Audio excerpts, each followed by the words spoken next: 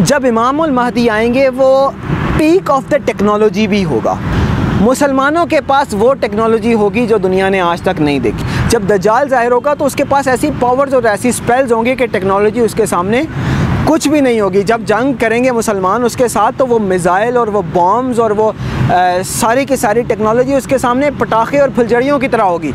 आउज़बिल्लिमिनशैतरजीम बसमीम अल्लाम सल वसलम अला सैदना महमद असलात वसलाम या मोहम्मद आप सबका यहाँ तशरीफ़ लाने का बहुत शुक्रिया गिलानी साहब भाईजान अदनान सारे लोग माशाल्लाह आते हैं रेगुलर अल्लाह ताला आपकी सबकी पार्टिसिपेशन को कबूल फरमाए और ये छोटी छोटी पार्टिसिपेशंस हैं जिससे हमारी भी हिम्मत बंदी रहती है मोटिवेशन होती है जिससे हम कंटिन्यू करते हैं इंशाल्लाह बसमीम कौल्ला ताली फ़ी कलाम मजीद।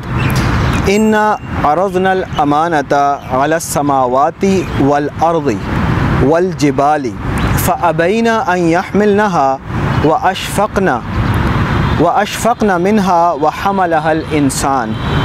इन्नहु काना ज़लूमन जहूला। अल्लाह ताला कलाम मजीद में फ़रमाता है कि इन्ना अरज़नल अमानता अलसमावाती वल अर्दी वल जबाली फ़अबैना यहमिल नहा कि हमने एक अमानत आसमानों के और ज़मीन के और पहाड़ों के हवाले करने की कोशिश की फ़अबैना यहमिल नहा लेकिन उन्होंने इस अमानत को उठाने से इनकार कर दिया वह हमल अहल इंसान लेकिन इंसान ने इसको उठा लिया इन नहू काना ज़लूमन जहूला। फिर अल्लाह ताला उसके ऊपर तबसरा फरमा रहे हैं कि बेशक इंसान बड़ा ही ालिम और बड़ा ही जाहिल है। ये हदीस ये आयत कुरान की हम कई दफ़ा पढ़ते हैं, गुज़रते हैं, लेकिन आज के कॉन्टेक्स्ट में इसको समझना बड़ा ज़रूरी है। हमारा टॉपिक चल रहा है फितना दज्जाल। इसके ऊपर हमारे तीन लेक्चर्स हो चुके हैं। इस टॉपिक के ऊपर इसके अलावा बीच में दो तीन हमारे डिफरेंट टॉपिक्स के ऊपर भी हुए हैं बेस्ड ऑन करंट ओकेजन्स हमने अभी तक ये सीखा, समझा है कि मफहूम मैं बताऊँगा, अगर वो सारी अहादीस और रवायात में दोबारा कोट करूँ तो थोड़ा सा लंबा हो जाएगा। मैं समरी ले लेते हैं अभी तक जो हमारे पिछले लेक्चर्स हुए उनमें। कि हज़रत आदम सलाम से लेकर क़्यामत तक जितने भी फितने, आजमाइशें, मुश्किलात, मुसीबतें दुनिया पर आनी हैं, इंसानों पर आनी हैं आप सल्लल्लाहु अलैहि वसल्लम की अहादीस सही रवायात के मुताबिक, उनमें फ़ितन दज्जाल सबसे बड़ा फितना होगा। और जो भी शख्स फ़ितन दज्जाल को पालेगा, उसके सामने चला जाएगा, उससे आमना सामना हो जाए, उसका, उसके लिए उससे बचना इंतहाई मुश्किल है ऑलमोस्ट इम्पॉसिबल है। दज्जाल जब ज़मीन पर आएगा तो अल्लाह ताला ने उसको बहुत सारी ऐसी ताकतें, ऐसी ट्रिक्स ऐसी पावर्स दी हुई होंगी कि जिससे दजाल लोगों को नवज़ुबिल्ला ये बावर कराने में कामयाब हो जाएगा कि नवज़ुबिल्ला वही खुदा है। उसके पास ऐसी पावर्स होंगी कि वो ये लोगों को बावर कराने के लिए प्रूव करने के लिए कामयाब हो जाएगा। एक दो मैं मुख्तसरन बता देता हूँ कि एक शख्स होगा, उसको दजाल से जब सामना होगा तो दजाल को वो शख्स कहेगा कि मैं गवाही देता हूँ कि तू ही काना दजाल है, जिसके बारे में नबी वसल्लम ने हमें डराया था। तो दज्जाल गुस्से में आ जाएगा और अपने आसपास साथियों से, मानने वालों से कहेगा कि अगर मैं इस शख्स को कत्ल करके दोबारा ज़िंदा कर दूँ तो क्या तुम लोग मुझे और भी अच्छे तरीके से मानोगे? तो उसके मानने वाले, उसके साथी, उसके पैरोकार उसको कहेंगे कि हाँ जी, बिल्कुल ऐसा ही करेंगे। दजाल उस शख्स को एक आरा मंगवाएगा बड़ा सा और उससे दो टुकड़े कर देगा। और फिर उन दो टुकड़ों के बीच में से गुज़रेगा और फिर वापस आएगा। उसके बाद उस शख्स को हुक्म देगा नवजुबिल्ला कहेगा कि खड़ा हो जा, ज़िंदा हो जा दोबारा और वह शख्स दोबारा ज़िंदा हो जाएगा। और अपने मानने वालों से फिर कहेगा कि आप देखो, अब तो तुम मुझे और भी खुदा मानते हो ना, पहले भी अच्छे तरीके से। तो लोग कहेंगे कि हाँ जी, हम आपको नवजुबिल्ला पहले से भी ज़्यादा मानते हैं कि आप ही खुदा हैं नवजुबिल्ला लेकिन वो शख्स उठते कहेगा कि मुझे और भी यकीन हो गया कि तू ही वो काना दजाल है जिससे नबी सल्लल्लाहु अलैहि वसल्लम ने हमें डराया था, क्योंकि ये बात तो आप ने पहले बता दी थी हदीस में। इस तरह की उसके पास पावर्स होंगी और भी बहुत सारे डिटेल्स हैं जो हम पिछले लेक्चर्स में कवर कर चुके हैं। हमने ये भी सीखा, समझा, देखा कि आप सल्लल्लाहु अलैहि वसल्लम की सही रवायात के मुताबिक जो दजाल का पहला दिन होगा, यौमुन का सना, वो एक साल की तरह होगा। फिर दूसरा दिन होगा, यौमुन का शहर, दूसरा दिन एक महीने की तरह होगा। फिर तीसरा दिन होगा, यौमुन का जुमुआ, के तीसरा दिन ऐसा होगा कि एक हफ़्ते की मानद होगा। उसके बाद बाकी दिन जो होंगे सायर अयाम ही का अयामिकुम के बाकी जो उसके सैंतीस दिन होंगे, वो तुम्हारे याम दिनों की तरह होंगे। हमने अभी तक ये कवर कर लिया है कि पहले दिन से क्या मुराद हो सकती है। डेफिनेट हम नहीं कहते। वल्लाहु आलम, हर चीज़ अल्लाह जानने वाला है। हमने अपना एक पर्सपेक्टिव एक स्टडी प्रेजेंट की कि पहले दिन से क्या मुराद हो सकती है, दूसरे दिन से क्या मुराद हो सकती है, तीसरे दिन से क्या मुराद हो सकती है। एक स्टडी हमने प्रेजेंट की और जिसके बारे में हमारे अलावा भी और लोग बात कर रहे हैं और इस चीज़ के ऊपर एक कन्वर्ज हो रहे हैं कि most probably that was first day and most probably we are going through the second day Allah knows better और थर्ड डे शायद आए बाद में और उसके बाद एक्चुअल एज अ पर्सन भी वो दजाल सामने आए। ये हमने पहले स्टडी कर लिया है। आपको ये आ, हमारी जो प्ले लिस्ट है लेक्चर्स की फितना दजाल के ऊपर उसको आपको जाके आ, सुनना होगा फिर आपको पता चलेगा कि first day second day third day से क्या मुराद है। थर्ड डे अभी हमने कवर करना है। लेकिन हम यहाँ पे पॉज ले रहे हैं और दजाल की फितना दजाल की फ़िलासफ़ी समझने की कोशिश करेंगे कि ये दजाल आएगा क्यों? अल्लाह ताला तो बड़ा गफूर रहीम है, बंदों के ऊपर रहम करने वाला है। रवायात में आता है कि सत्तर माओ से ज़्यादा प्यार करने वाला अल्लाह है। तो फिर दज्जाल जैसा फितना अल्लाह ताला ज़मीन के ऊपर क्यों भेजेगा? उसके पीछे पीछे लॉजिक क्या है फ़िलासफ़ी क्या है? और फितना दज्जाल में हम लोग या जो भी लोग शिकार होंगे, अल्लाह ताला हम सबको महफूज रखे, वो क्यों होंगे? और उससे बचने के तरीके तो हम डिस्कस करते रहते हैं, लेकिन हम बिगर पिक्चर आज डिस्कस कर रहे हैं कि फितना दज्जाल वकू पजीर क्यों होगा और उस फ़िलासफ़ी को कैसे समझ के उससे बचा जा सकता है। दरअसल, फितना दज्जाल या वो फितना कि जो खुदाई का फितना होगा नाउज़ुबिल्ला उसकी हिस्ट्री हज़रत आदम से स्टार्ट होती है। कि जब हज़रत आदम सलाम को क्रिएट किया गया, अल्लाह ताला ने हज़रत आदम सलाम को पैदा किया तो इबलीस जो है, वो जन्नात में सबसे अल्लाह ताला के करीब हो चुका था और तरक्की पा चुका था। तो इबलीस जेलसी में आ गया और उसने हज़रत आदम सलाम के सामने तकबर का मुजाहरा कर दिया। अल्लाह ताला के सामने तकबर का मुजाहरा कर दिया हज़रत आदम सलाम के को सजदा तज़ीमी करने से इनकार कर दिया।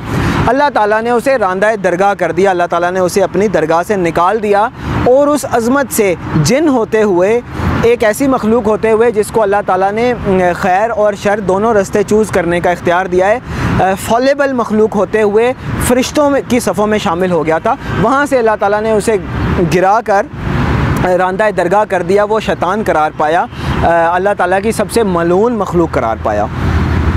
यही हिस्ट्री रिपीट होती है बार बार कि जब अल्लाह ताला इंसान को तरक्की देगा इंसान को अपने करीब ले आएगा। इंसान को अल्लाह ताला ने अशरफुल मखलूक़ात का मुकाम दे दिया कि लक़त खलक नल इंसान अफ़ी आसनी तकवीम। बेहतरीन तकवीम में, बेहतरीन सूरत में भी अल्लाह ताला ने इसी इंसान को पैदा किया।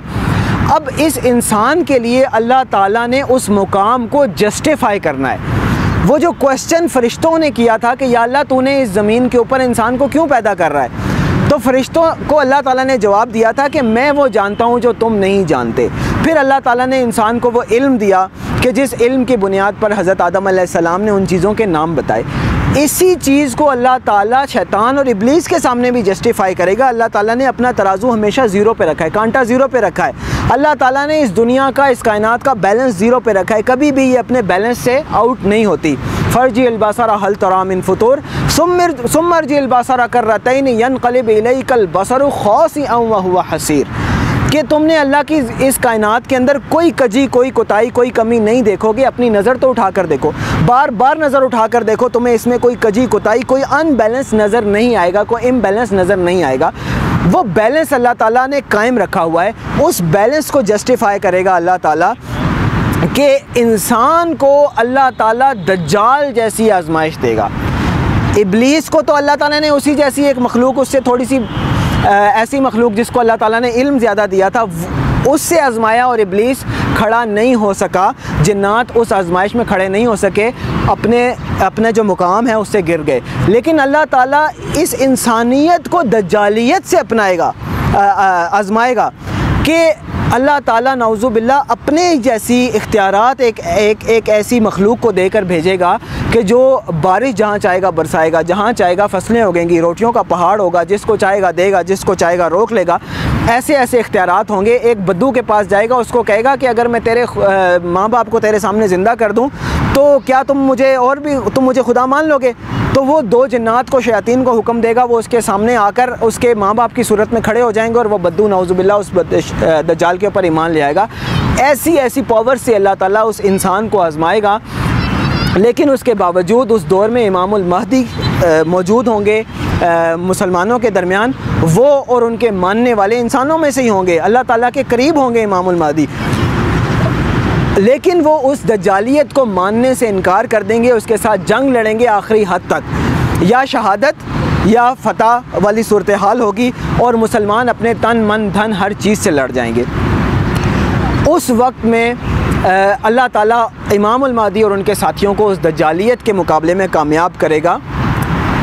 एक फ़िलासफ़ी उसमें बड़ी इंपॉर्टेंट है थोड़ा सा समझने का इंफॉर्मेशन का पॉइंट है कि जब दजाल ज़ाहिर होगा, उस वक्त इमाम मादी का दौर होगा। दजाल से पहले, यानी दजाल एज आ शख्स, हमने पहले डिस्कस कर लिया Dajjal as a system. First day, second day Dajjal as a system. Third day Dajjal as a system. Fourth day onward Dajjal as a person, actual Dajjal आ जाएगा। तो जब द एक्चुअल दजाल आएगा, उस वक्त क्या होगा कि इमाम महदी की हुकूमत होगी।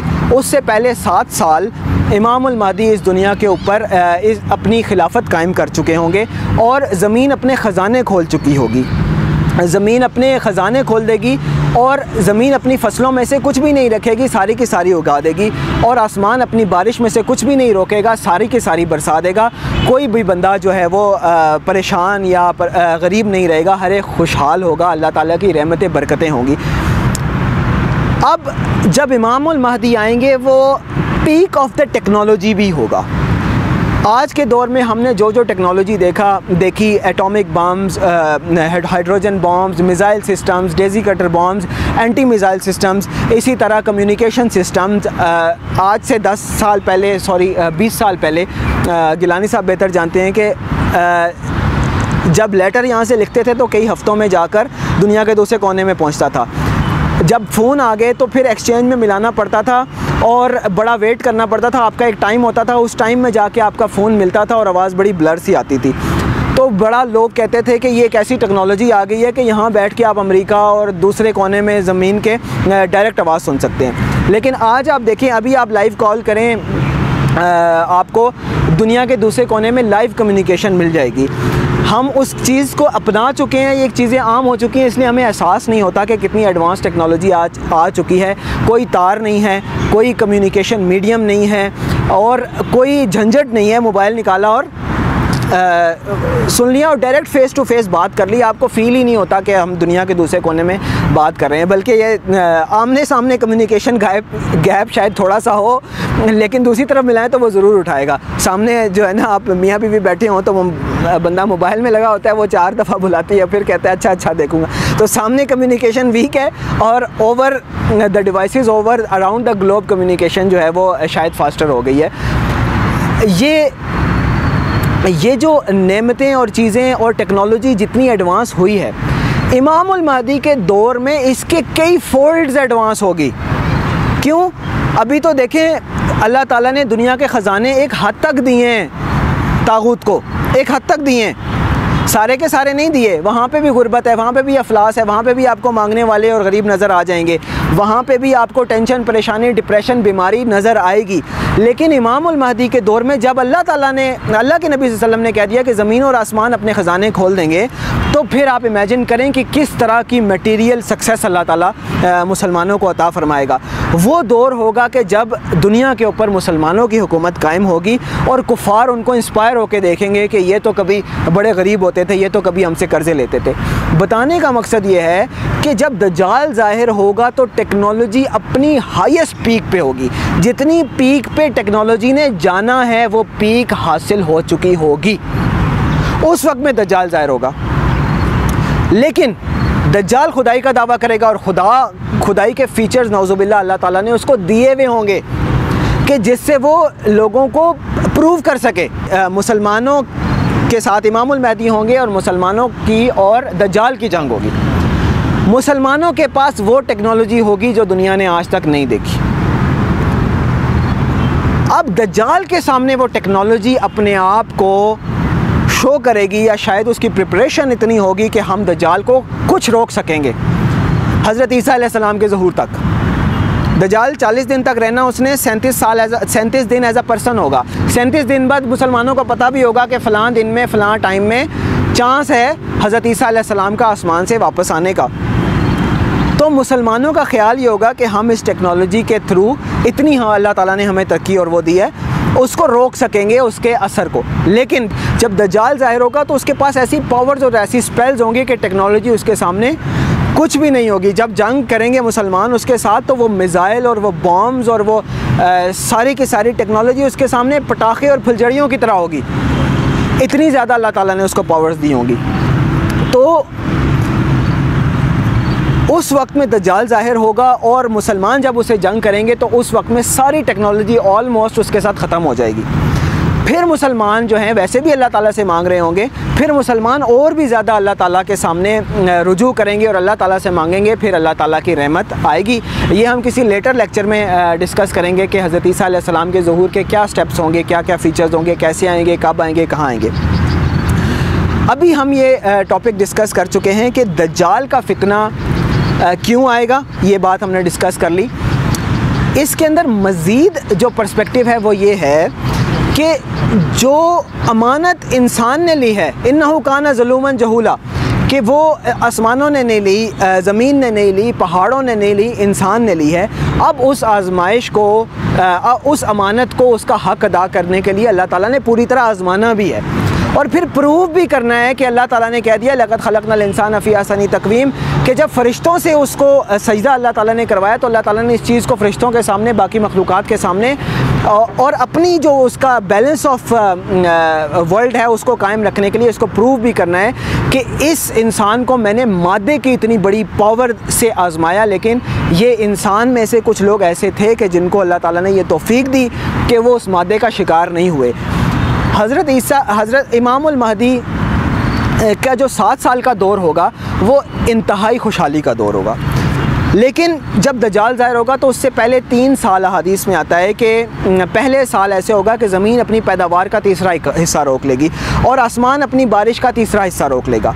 दूसरे साल ज़मीन अपनी पैदावार के दो हिस्से और आसमान अपनी बारिश के दो हिस्से रोक लेगा। तीसरे साल ज़मीन अपनी पैदावार में से कुछ भी नहीं करेगी और आसमान जो है अपनी बारिश में से कुछ भी नहीं बरसाएगा कहत साली का समा होगा, उसके बाद दजाल ज़ाहिर होगा। अब मुसलमानों को, इंसानों को खुशहाली की आदत पड़ चुकी होगी। कोई भी गमगीन नहीं होगा, कोई भी परेशान नहीं होगा, किसी को खाने पीने की कमी नहीं होगी।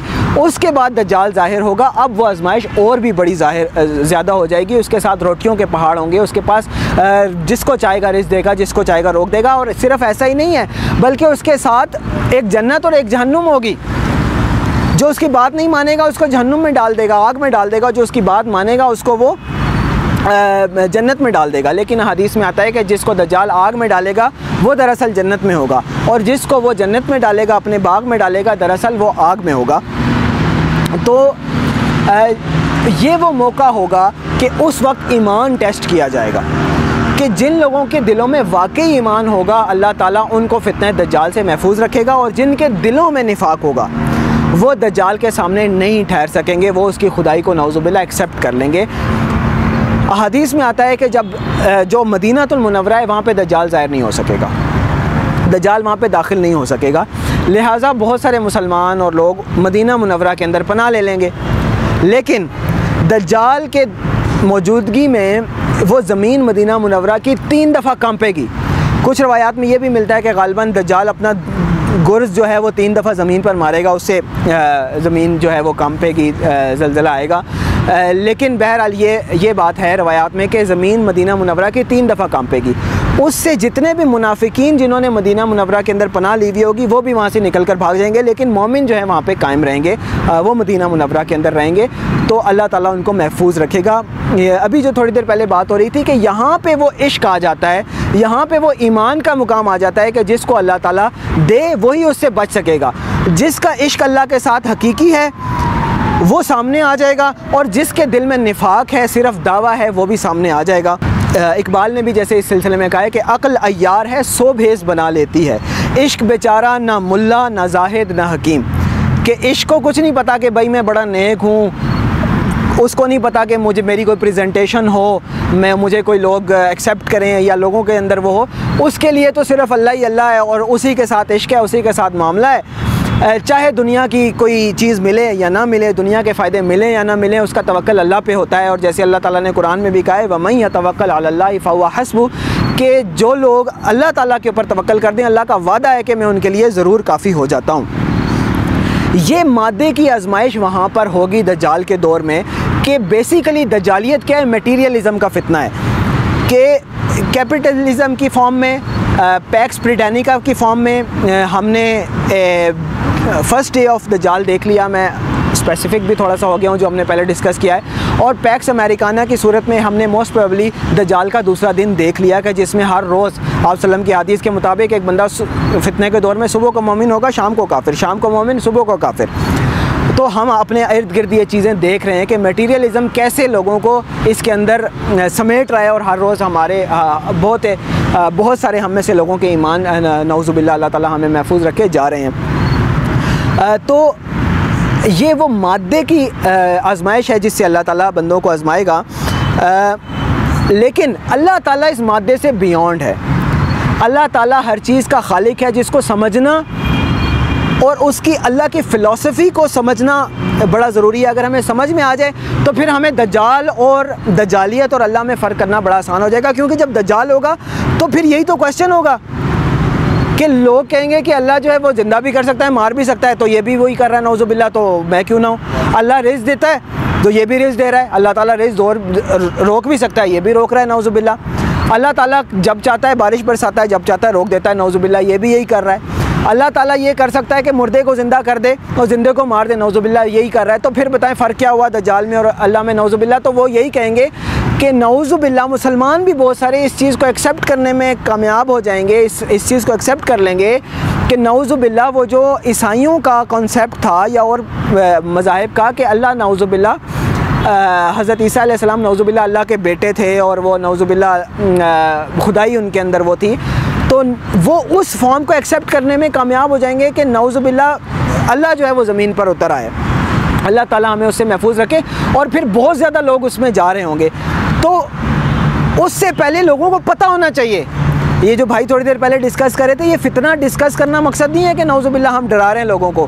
मकसद ये है कि लोगों का इल्म बढ़े, लोगों को पता हो कि दजालियत के क्या फ़ीचर्स होंगे और खुदाई क्या है। अल्लाह एक्चुअल अल्लाह के क्या फ़ीचर्स हैं। अल्लाह जो है कुल अहद, अल्लाह समद। अल्लाह सबसे पहले तो एक है, उस जैसा कोई नहीं। एक ये नहीं है कि सिर्फ़ वाहिद अल्लाह है।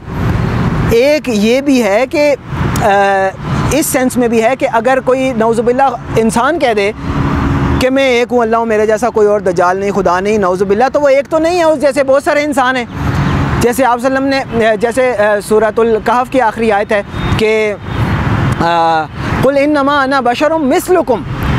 नबी सल्लल्लाहु अलैहि वसल्लम के साथ भी नौजुबिल्ला कोई ऐसे फ़ीचर्स ना एसोसिएट किए जाएँ कि नौजुबिल्ला वो कोई बाकी इंसानों से बयान है। अपनी अपनी इंसानी फितरत में। बाकी तो वो अल्लाह ताला के बरगज़ीदा हैं, तमाम इंसानों से अफजल हैं। लेकिन इंसान हैं। कि कुल इनमा अना बशर मिसलुकुम, मैं तुम्हारे जैसा एक इंसान हूँ। लेकिन जो दजाल होगा, वो भी हमारी तरह एक इंसान होगा, उसकी भी शॉर्ट कमिंग्स होंगी, उसको भी खाने पीने की ज़रूरत पड़ेगी, उसकी भी आँखें, हाथ, कान, पाँव, ये सारी चीज़ें होंगी, लेकिन अल्लाह ताला क्या है, वो अहद है। वो इस सेंस में अहद है कि उस जैसा कोई नहीं, वो बिल्कुल अकेला है। उस जैसा या उसके फीचर्स जैसा उससे मिलती जुलती कोई चीज़ और कायनात में है ही नहीं। अल्लाह समद, वो बेनियाज भी है। दजाल को ज़रूरत है ना लोगों को बुलाए अपनी तरफ़ के मेरी पूजा करो तो मैं ये करूँगा, वो करूँगा। नहीं, अल्लाह बेनियाज है। सारे के सारे लोग काफिर हो जाएँ, अल्लाह ताला को फ़र्क नहीं पड़ता। सारे के सारे लोग अल्लाह ताला की इबादत कर दें, अल्लाह ताला को फ़र्क नहीं पड़ता, अल्लाह ताला बेनियाज है। लम यलिद वलम यूलद, ना वो किसी का बेटा है, ना उसकी कोई औलाद है। ना वो किसी की औलाद है ना उसकी कोई औलाद है। दजाल क्या होगा? किसी का बेटा होगा किसी की औलाद होगा किसी इंसानों में से होगा। ये फ़ीचर भी उसके इससे भी पता चलता है कि दजाल जो है नौजुबिल्ला खुदा नहीं है। और आ, वलम लम यलिद वलम यूलद वलम यकुल्लहु कुफुवन अहद। और कभी भी कोई भी उसके बराबर नहीं हो सकता। अल्लाह ताला के बराबर कोई भी कभी भी नहीं हो सकता। दजाल हमारे सामने होगा, एक इंसान होगा, उसके वही फीचर्स होंगे। बहुत सारे लोग मटेरियल सेंस में उसके बराबर हैं। दो हाथ उसके भी होंगे, हमारे भी हैं। दो बाजू उसके भी होंगे, हमारे भी हैं। दो टांगें उसकी भी होंगी, हमारे भी हैं। ज़ुबान से कलाम वो भी करेगा, हम भी करते हैं। ये सारी चीज़ें अल्लाह इनसे बाला तर है। अल्लाह क्या है फिर? अल्लाह की पहली डेफिनेशन है अनडिफाइनेबल किसी ने एक दफ़ा लिखा कि साइंटिफिक लोग इसको समझेंगे infinite source of energy with sense नाउजुबिल्ला किसी ने डिफ़ाइन करने की कोशिश की कि अल्लाह कोई एनर्जी है कोई पावर है जिसके अंदर अकल भी है और सेंस भी है जो अनलिमिटेड है? नहीं. अल्लाह की पहली डेफिनेशन है अल्लाह इज़ अनडिफाइनेबल अल्लाह का ना कोई स्टार्ट है ना कोई एंड है. अगर हम अपने सेंस में सो, सोचें तो हमें लगता है कि हमारे दिन गुजर रहे हैं हमारा वक्त गुजर रहा है। वक्त का खालिक भी अल्लाह ताला है। अगर आप अपने आप को इस सूरज और ज़मीन और इस आ, इसके कायनात से आ, इस इस निज़ाम शमसी से ऊपर ले जाएँ तो आपके लिए टाइम नहीं गुजरेगा। टाइम तो कैसे पता चलता है? दिन और रात होती है तो टाइम पता चलता है। एक दिन दो दिन तीन दिन आधा घंटा आधा मिनट दस मिनट एक साल दस साल एक मिलियन साल। ये टाइम सूरज और चाँद के घूमने से इस गर्दिश से हमें पता चलता है। इससे बियॉन्ड टाइम है ही नहीं। इसी तरह अल्लाह यानी कि अल्लाह ताला टाइम का भी खालिक है। अच्छा अल्लाह ताला ने फ़रिश्तों की कोई लिमिटेशन नहीं रखी, यहाँ पे अभी आसमान पे पहुँच जाएँ। उनको मूव करने की फ़िज़िकली ज़रूरत नहीं है, उनको खाने पीने की ज़रूरत नहीं है, ऐसा ही है। लेकिन इंसानों के अंदर जी हाँ जी, अल्लाह ताला लम ला खुजू सीना तुम वलाना उसकी कोई कोई शॉर्ट कमिंग कोई रिक्वायरमेंट है ही नहीं। ये सारी की सारी शॉर्ट कमिंग्स का खालिक भी अल्लाह है। मुझे भूख लगती है ना तो मैं कहता हूँ, खाना खाऊँगा, नहीं तो मर जाऊँगा। लेकिन अल्लाह ताला ने कहा है कि कुरान में कि वला तख्तुल औलादकुम खशत इमलाक, नहन रज़कनाहम वैयाकुम कि अपनी औलादों को रोटी के रेस से मारना नहीं है। वो जो मुशरकिन दफना देते थे, आज हम एक और तरीके से दफनाते हैं। वो किसी और टाइम डिस्कस करेंगे। हम भी दफना रहे होते हैं अपनी औलादों को आज के दौर में, आज की जाहिलियत में। तो तो क्यों अल्लाह ताला ने कहा है कि रोटी पेट मैंने बनाया है, ये शॉर्ट कमिंग मैंने बनाई है, मैं चाहूँ तो इसको ऐसे पूरा कर दूँ, मैं चाहूँ तो इसके बगैर भी पूरा कर दूँ। और फिर मुख्तसर सी बात है कि आप वसल्लम ने दजाल के बारे में फ़रमाया कि मैं तुम्हें दजाल के बारे में ऐसी बात बताऊँगा जो किसी नबी ने पहले नहीं बताई। और वो ये कि दजाल काना होगा और तुम्हारा रब काना नहीं है। बात ख़त्म हो गई कि, जी? वो तो मैं कोई भी हो सकता है अल्लाह माफ़ करे मुझे हो जाए। तो बहुत सारे लोग हैं तो काना तो हम देखते हैं हो जाते हैं लोग नाबीना भी हो जाते हैं अल्लाह माफ़ करे। आ, लेकिन बात यह है कि दजाल काना होगा वो भी काना होगा ठीक है? बाकी भी होते हैं नॉर्मल लोग भी हो जाते हैं बाज़ वो भी कहना होगा। अच्छा तो अल्लाह ताला ने कुरान में फ़रमाया है कि आखिरी बात के सूरत कहफ़ की सेकंड लास्ट आयत है कि कुल्लौकानल कुल्लौकानबहर मिदादली कलिमात रबी लनफ़िदलबहर कबल तनफ़द कलिमात रबी वलो जिना ही मददा कि अल्लाह क्या है आप डिफ़ाइन ही नहीं कर सकते कि अगर तुम समुंदर भी ले आओ तो अल्लाह ताला की तारीफ़ नहीं लिख सकते सारे के सारे समुंदर ख़त्म हो जाएँगे। अल्लाह ताला की तारीफ़ ख़त्म नहीं होगी। वलो जिना बिमिसलिही मददा, चाहे इसके ऊपर फॉर लूप इनफाइनाइट लूप लगा दें। कंप्यूटर साइंस में होता है इनफाइनाइट लूप बार बार लगा दें बार बार लगा दें, सारी उम्र चलता रहे। वलो जिना बिमिसलिही मददा इनफाइनाइट इनफाइनाइट लूप है ये। कि बार बार समुंदर भरते रहो, उनकी स्याही बनाते रहो, अल्लाह की तारीफ़ लिखते रहो, समुंदर ख़त्म होते जाएँगे। अल्लाह ताला की तारीफ़ ही नहीं ख़त्म होगी। ये अल्लाह ताला का फ़ीचर है अल्लाह ताला अनडिफाइनेबल है। उसकी हम तारीफ़ ज़रूर अपनी तई थोड़ी बहुत करते हैं लेकिन हम उसकी तारीफ़ का हक अदा नहीं कर सकते उसके फ़ीचर्स बयान नहीं कर सकते। उसका कोई ना आगाज़ है ना कोई अख्ताम है ना उसके अंदर कोई कमी है ना उसके अंदर कोई कजी है।